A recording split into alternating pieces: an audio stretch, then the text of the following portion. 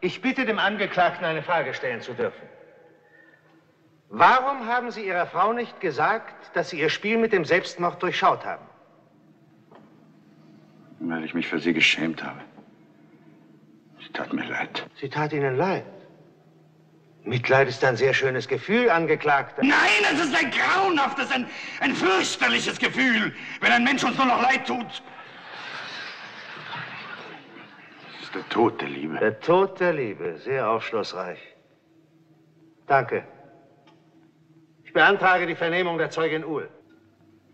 Die Liebesbriefe, die Sie dem Angeklagten geschrieben haben, liegen dem Gericht in Fotokopien vor und werden notfalls verlesen werden. Wenn Sie weiterhin darauf bestehen, dass Ihr Verhältnis mit dem Angeklagten nur das Übliche war.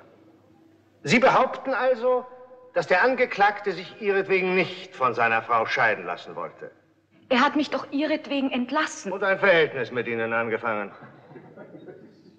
Nennen Sie es auch üblich, dass Männer Ehebruch begehen und nicht an Scheidung denken? Ja. Und Sie, Sie haben nicht von ihm verlangt, dass er sich scheiden lässt.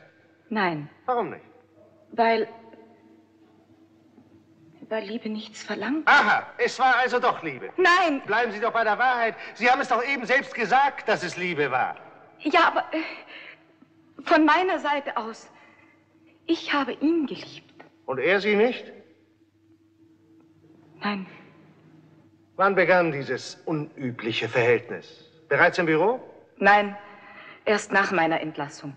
Da kam er in Ihre Wohnung. Ist Ihnen dieser Ausweg eben erst eingefallen, Angeklagter? Nein, das ist die Wahrheit. Sie leidet unter Verspätung.